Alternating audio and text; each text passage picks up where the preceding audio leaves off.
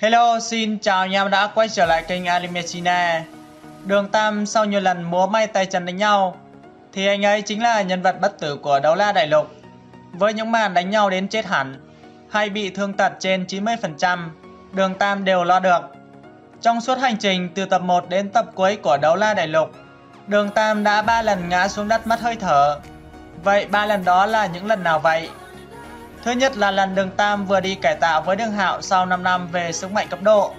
Anh ấy rất tự tin về mình, nên một mình vào rừng tinh đấu đại xâm lâm tìm Tiểu Vũ Thỏ. Do 5 năm trước trong cuộc thi đấu tên anh cấp cao, Tiểu Vũ để bại lộ thân phận là em thỏ già 10 vạn tuổi hóa thành em gái mười mấy tuổi, nên đã bị giáo hoàng bị Bỉ Đông vây bắt.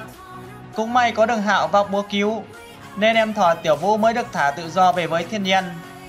Vì vậy lần này ngoài đường Tam vào rừng tinh đấu đại xâm lâm tìm Tiểu Vũ, thì còn có tổ đội Vũ Điện nữa, gồm đại ca Quỷ Xăm Chỗ Đấu La, Cúc Đấu La BD và một số nhân vật khác.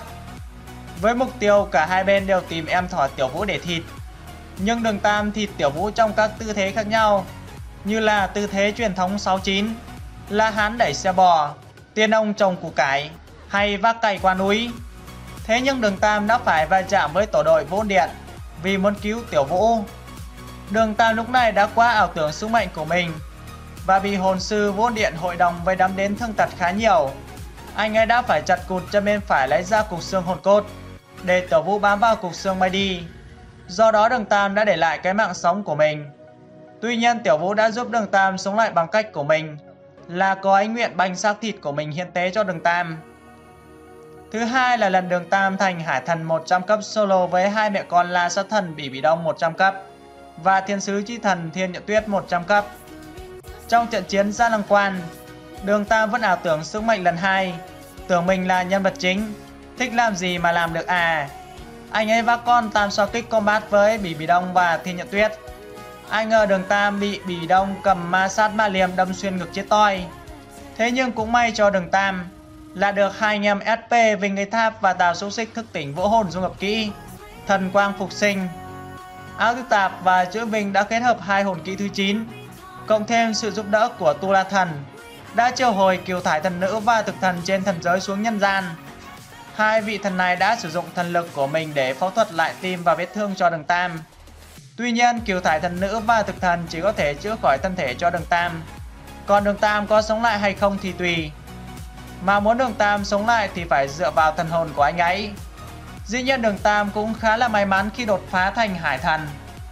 Trước khi quay trở về đại lục, hắn đã để lại một tia thần hồn ở hải thần đảo.